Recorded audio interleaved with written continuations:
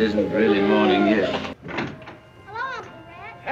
80 years ago, child actor Mickey Kuhn stole hearts as the young child Beau Wilkes in the classic film Gone with the Wind. Today, he's in the Detroit area getting ready to greet fans at the Redford Theater. And we're lucky enough to have uh, Mickey Kuhn right here now to talk to us about the big event. Thank you so much for joining us. My pleasure. It is amazing. I mean, can you imagine, could you imagine when you were younger that the film would be such a touchstone of modern cinema? Had no earthly idea. Uh, I can only remember that my mother was upset because I wasn't in uh, The Wizard of Oz, but I try to explain that those were little people. right. Well, you were a little guy, but you were a kid. Kid, right. Now, how old were you at the time you were in the film? I was 6 Mm-hmm. and I turned seven in September. The film was done in April, and uh, it was fun. I- you I know, I remember it and had a great time. And I saw a film clip you showed with uh, Mammy and uh, Uncle Rhett and, and me in it. That was a that was a memorable day. And what was your relationship with uh, folks like Rhett Butler?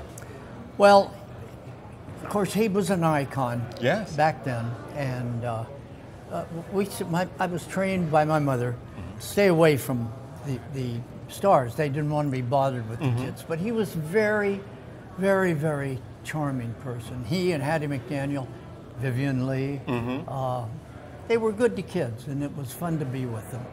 And uh, of that iconic film, 80 years uh, ago, uh, there are two surviving actors. We're lucky to have one of them here.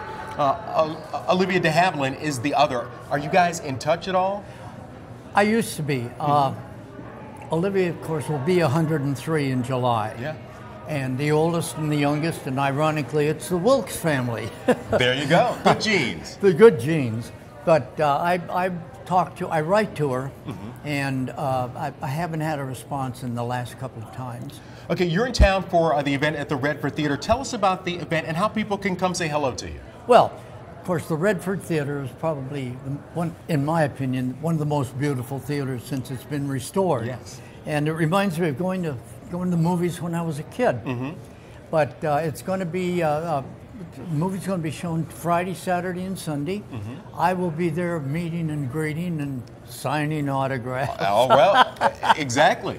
And uh, it- it- just come on down. It's going to be fun. And the times are right there on your screen. Uh, 7 tonight and tomorrow, 2 o'clock on Sunday. Right. Say hello to uh, Mickey Kuhn and make sure you bring a pen to get this man's autograph. Please do. Thank you so much Thanks, for joining us, Mickey. I appreciate it's it. great to see you.